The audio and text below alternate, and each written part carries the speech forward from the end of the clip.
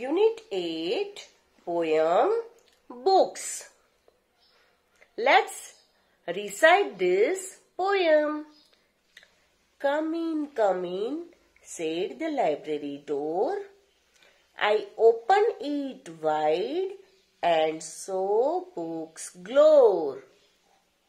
Tall shiny books up high on the shelves little fat books that stood by themselves. I opened one up and sat down to look. The pictures told stories. What a wonderful book! In this poem, this library door welcome to the children. And what library door say? Come in, come in.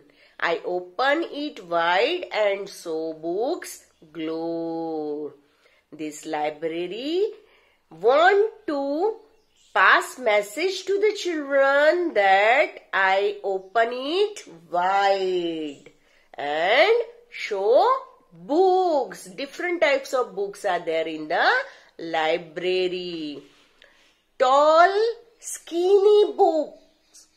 Tall yani lambi skinny books up high on the shelves.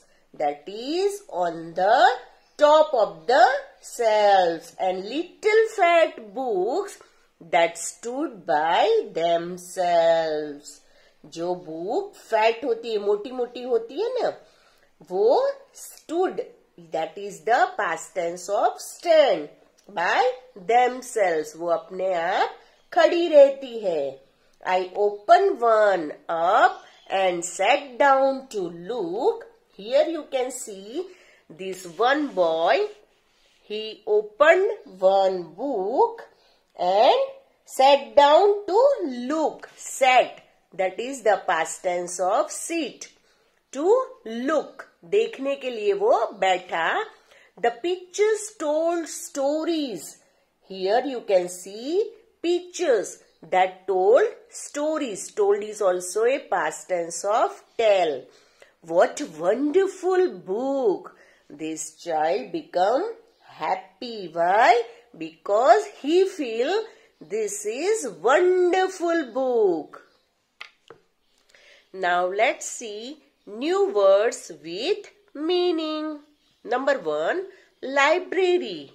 A room containing collection of books. Number two, wide, broad to a great extent. Number three, galore, plenty or large quantities. Number four, skinny, very thin. Number five, cells.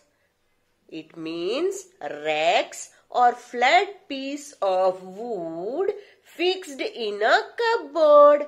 Number 6. Wonderful. It means amazing or extremely good. Number 7. Pictures. It means paintings or drawings. Now see rhyming words.